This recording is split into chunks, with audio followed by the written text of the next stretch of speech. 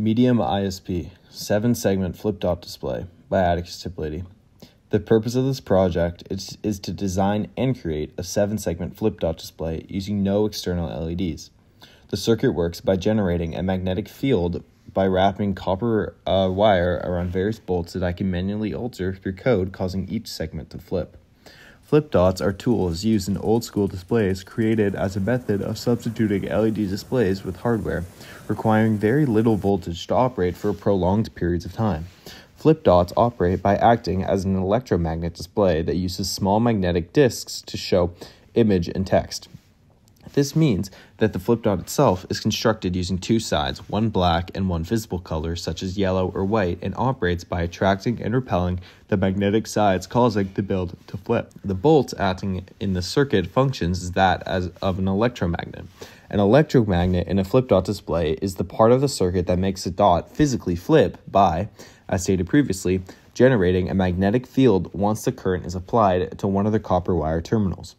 Once the current has been successfully removed after a brief flash, the magnetic field disappears when the current is switched off. The copper wire turns in this case are often wound around a magnetic core made uh, from a ferromagnet, such as the iron bolts used in said project, is the magnetic core, the bolt concentrates the magnetic flux, resulting in a more powerful magnet. A law that helps describe why this occurs is Oersted's law, which states that when an electrical current flows through a wire, a magnetic field around it is created. Following Oersted's discovery about electromagnetism, James Clerk Maxwell was able to derive an equation that related the magnetic field strength with the current flowing through said wire. However, this equation can be simplified greatly for a long solenoid, a coil wound many times per unit of length, such as the one in this project. B being the magnetic field vector, mu stand for the permeability of free space, 4 pi times 10 to the negative 7, and I being the total current closed by the loop. Once the current has left the magnetic field, the seven segment flip dot is able to hold each segment in place and not cause it to fall if placed upside down due to something called remanence, also referred to as residual magnetism, which is the magnetization that is left behind in a ferromagnet, such as the iron bolt, after a magnetic field is removed, the current through the copper wire. Ohm's law and Ampere's law, the one stated previously, are connected in the context of this project due to the combined dependency of the current in the circuit. Ampere's law describes how the magnetic field around the conductor bolt is directly proportional to the current that is flowing through it. The amount of current that flows through the coil depends on Ohm's law, which relates current, voltage, and resistance. This means that if the resistance of the coil is high, less current will flow for the given voltage, resulting in a weaker magnetic field that is being produced from the coil. As a result of such, the dot may not flip properly. The opposite happens where if the resistance through the coil is low, more current flows, resulting in a stronger magnetic field that flips the dot.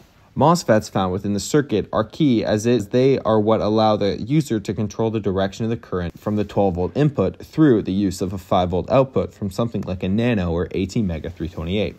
On a MOSFET's design, there are four specific terminals with three set pins, those being the source, S, gate, G, drain, D, and body, B. The body is typically connected to the source terminal so that the MOSFET functions as a field effect transistor. P channel MOSFETs are useful for high side switching, where the transistor is placed between the power supply and the load, while the N channel devices are typically used for low side switching placed between the load and the ground. Overall, this means that the N channel turns on when the voltage on the gate pin G is higher than the source S by a specific degree, meaning that if the source is at 0 volts and the gate is at 5 volts, the chip turns on connecting the drain pin D to the source. The inverse occurs with the P channel chips, where if the gate pin is lower than the source, current is able to flow. Flyback diodes are used with MOSFETs to protect them from voltage spikes that occur when switching inductive loads like motors, solenoids, or coils. When a MOSFET turns off, the inductor resists the sudden change in current and generates a high voltage spike in an attempt to keep the current flowing. This spike can damage the MOSFET or create unwanted electrical noise. To prevent this, a flyback diode is placed across the inductive load with its cathode connected to the positive supply. The diagram to the right depicts the H-bridge circuit that utilizes two P-channel MOSFETs, two N-channel MOSFETs, a load, that being the bolts, and four diodes. This circuit is called an H-bridge due to the layout of the chips resembling that of the letter H, simply enough. To drive current through the bolt in one direction, the left P channel and the right N channel MOSFETs are turned on, allowing for current to flow from the 12 volt supply through the motor and down to the ground.